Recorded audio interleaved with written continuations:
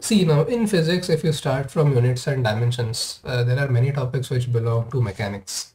Okay, starting with uh, rectilinear motion, motion in a plane, then we have got uh, laws of motion, then we have got rotational motion in which we have collisions, center of mass, work energy principle is there.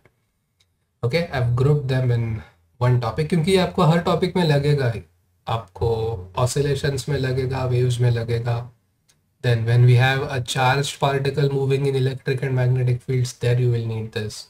In Bohr model of atom, you will need mechanics, Newtonian mechanics. Okay. So uh, mechanics has been the principal topic with 28 questions to overall. Okay, अगर फिर फिर से आपको ये याद करना है कि यहाँ पे टोटल नाइन वर्जन है okay so keep that in mind total nine papers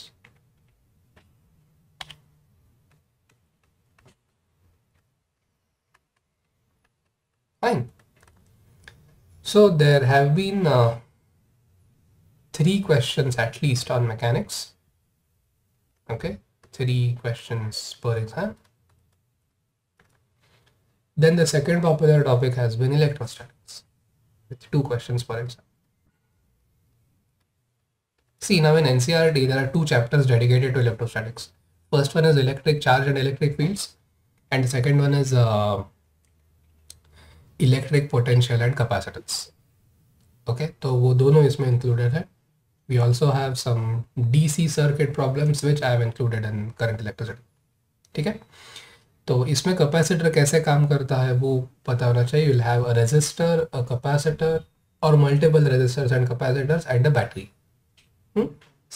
they'll give you a charged capacitor and some resistors. They'll not give you anything else. Okay, there won't be any battery. So if you know Kirchhoff's current and voltage laws or loop and junction rules, you can solve those problems also. So current electricity has been the third popular topic. इसके बाद वाले जो topics है ना इसमें एक एक question alternate year से ऐसे आता है units and dimensions perhaps the easiest of all in physics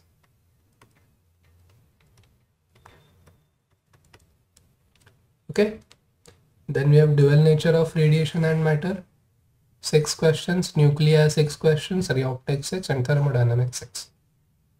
ठीक है तो ये थोड़े से अलग अलग टॉपिक्स है, लेकिन इनका वेटेज सेम है। Like ray optics is totally different from nuclear maybe nuclear and dual nature you can consider them to belong to modern physics yes but weightage wise they fall in the same bucket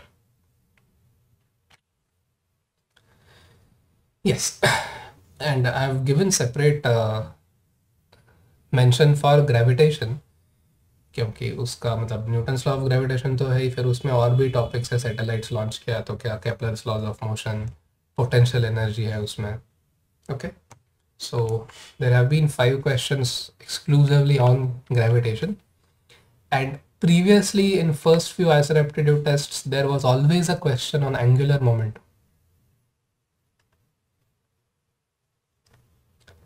okay. Occurred to it, it looked like this was a, a, topic which those people loved very much. Didn't see any question on previous uh, paper but yes ye bhi puchte hain then uh, i often find semiconductors ignored by students. The main reason is uh, this is the last chapter in NCERT so please don't ignore it. Luckily for you they will not be asking any questions on transistors or uh, Zener diode वो सब अभी नहीं है right it the applications of semiconductors are only till rectifiers so you should definitely target those okay if you understand the concepts then this shouldn't be a big problem okay then we have got electromagnetic induction and AC circuits that is also a topic which you need to prepare इसमें trigonometry लगेगा in fact सब लगेगा। Trigonometry लगेगा derivatives लगेंगे because Lenz's law has derivative in it also need integration because the way capacitors charge and potential are connected you need integration to apply the loop rule ठीक है? Then we have magnetic field जिसमें दो chapters है। First one is moving charges and magnetism in some books uh, this uh, chapter has name magnetic fields due to electric current. And then we have got magnetism and matter.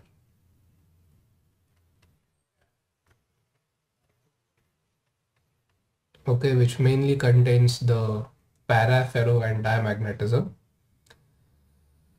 And the similarities between current carrying loop and bar magnet as far as the magnetic field is concerned then kinetic theory of gases is yet another uh, topic uh, which is simple connected to thermodynamics. Sometimes they also connect this to atoms. That is also important. Five questions for them. Then we have got atoms. Four questions. Mechanical properties of fluids. Oscillations and waves. अभी देखो ये भी एक ही group है oscillations is the simple harmonic motion again trigonometry is required waves again trigonometry is required sometimes interference of waves is also asked okay because it is a wave phenomenon we know and uh, even if they don't ask you Young's double slit experiment यहाँ पर पूछ सकते two wave pulses are traveling when will they meet what will be the amplitude okay तो उसमें trigonometry लगेगा sin c plus sin d लग सकता है those of you have solved problems on waves they'll know how we uh, solve them ठीक है तो इसमें भी दोनों मिला के वन क्वेश्चन पर पेपर आया है okay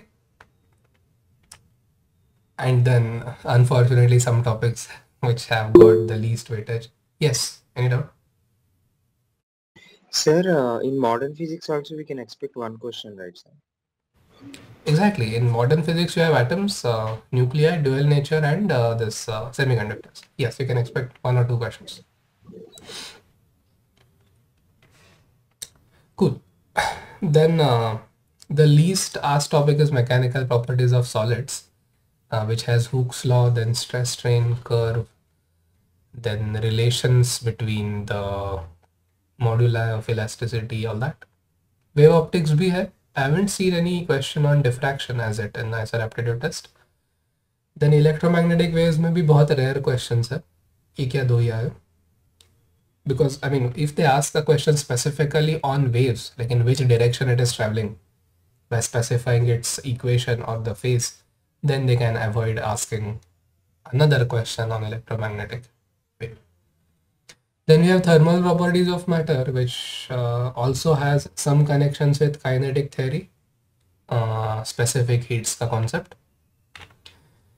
And uh, other important things is uh, thermal properties of matter and mechanical properties of solids. ये दोनों भी connected है. I'm sorry if I read uh, uh, if I said solids, it should be fluids. Okay. Uh, no, so how can they ask questions on thermal properties and mechanical properties of solids. Okay, standard question type is this. There is a rod which is tightly held between two rigid walls and then this is heated.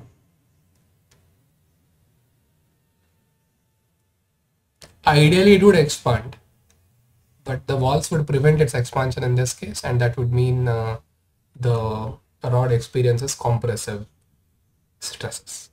So can calculate the prohibited uh, deflection from thermal properties of matter and then you can actually apply the stress, uh, the stress strain law, Hooke's law to calculate the stress at rest. तो ऐसे mixed concept भी पूछ सकते हैं यहाँ पे ज़्यादा common है वो अगर आपने थर्मल प्रॉपर्टीज़ ऑफ़ मैटर के कुछ क्वेश्चन सॉल्व किए तो उसमें आपको दिखेगा कि उन्होंने ये इसको कमाई किया ठीक है So that is my analysis of IISER papers as far as topics are concerned.